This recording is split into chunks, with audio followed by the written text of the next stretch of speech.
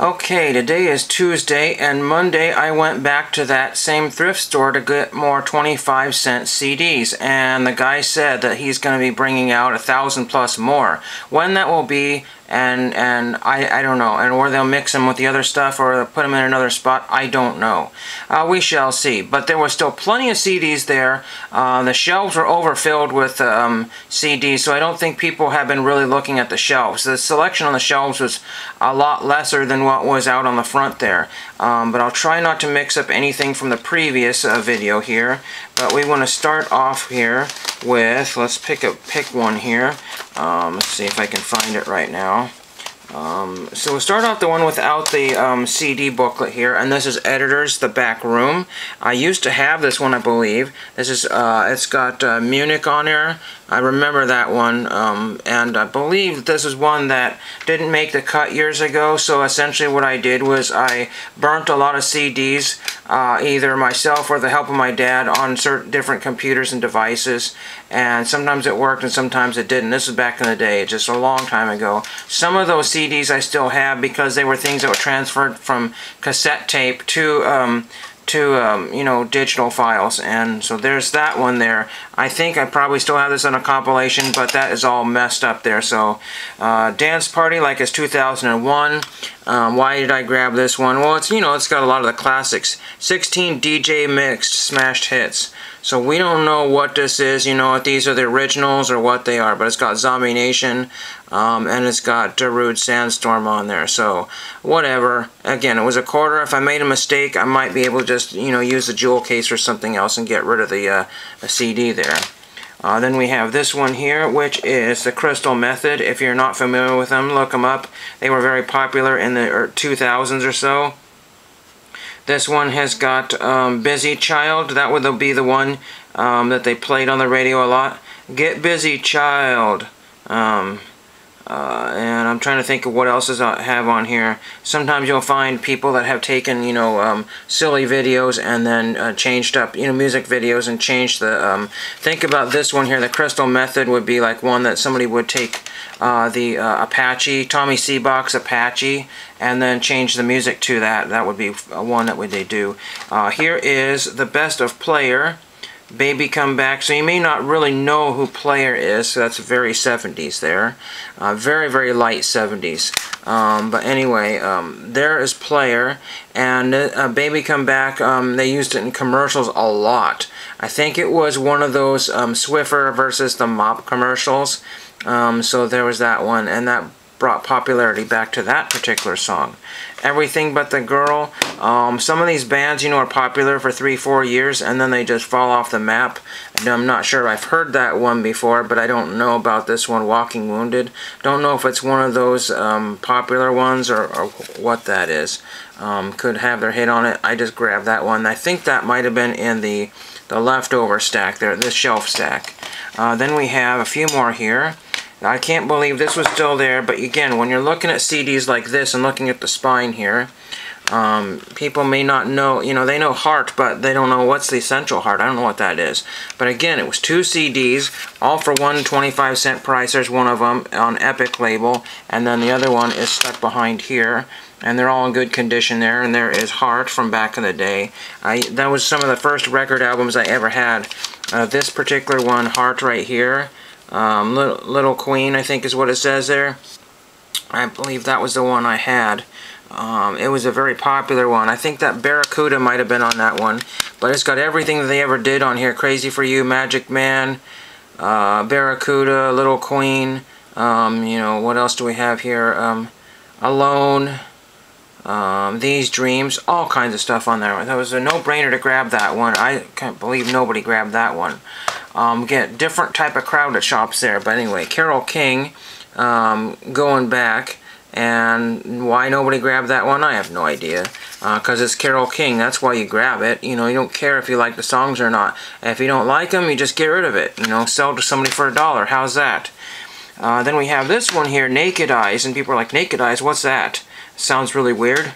And it, and it isn't too bad. Um, it's got um, always something there to remind me. It's an almost every 80s soundtrack. I mean, and it's been in lots of commercials, and and um, I have a copy of the music video on an old VCR tape that I I um, I have um, just a bunch of 80s uh, stuff there, and that's kind of cool there. So that's the only song I really know that they did. You know, kind of like what we call a one-hit wonder. And then people say, oh, you know, they're not one-hit wonders overseas. They were, you know, in Germany or whatever, or Europe, they were awesome, so you never know. This one's brand new factory sealed.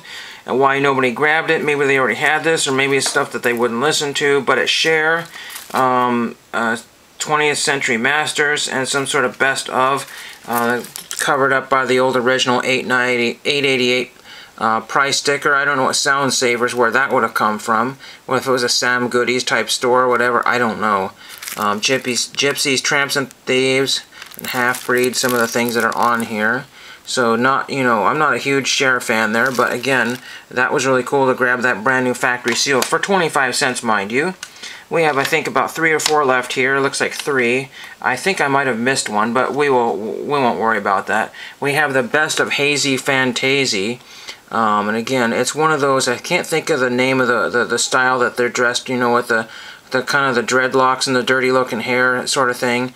Um, it's one, I forget what it's called. There's a whole group of uh, people that go to festivals, you know, like that. I'm not exactly sure what that's called, but um, and then there's that Shiny Shiny should be the one that you would know.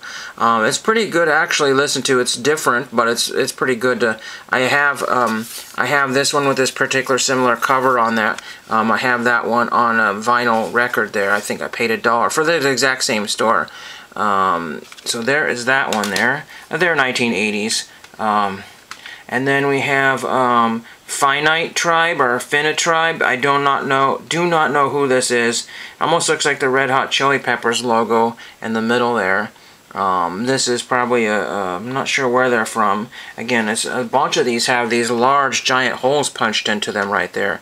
Very interesting. They're right through the barcode. I know they're promotionals, but uh, um, and most of these promotional ones are people that you've never even heard of. So whether they really got distributed or not, I don't know.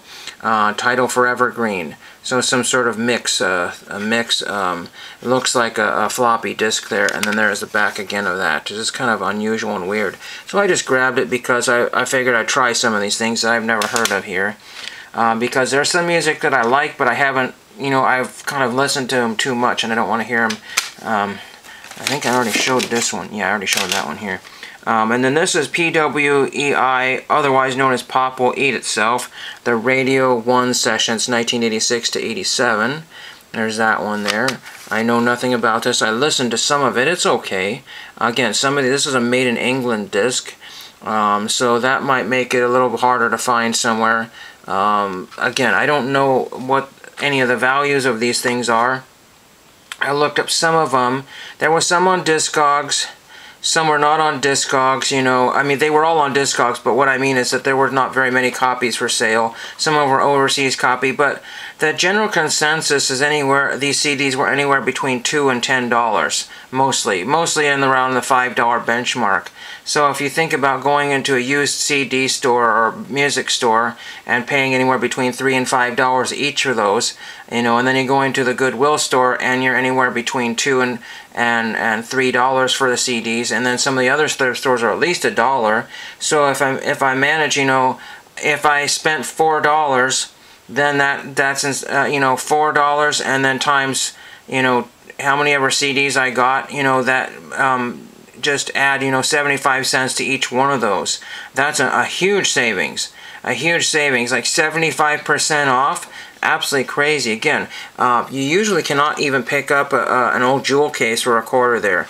I mean, if, if, if somebody had the time and the and and the and the and the willing to put put the effort in, they can make a huge killing because you they could set up everything on their Discog store, Amazon's, wherever they sell, eBay, that sort of thing. And again, a lot of these things, you know, here's another one that I picked up from previously, this classic folk music. I theoretically could get probably five to eight dollars for that one there. You know, if I sell CDs, I usually sell the new ones for two and the used ones for a dollar or something to that effect.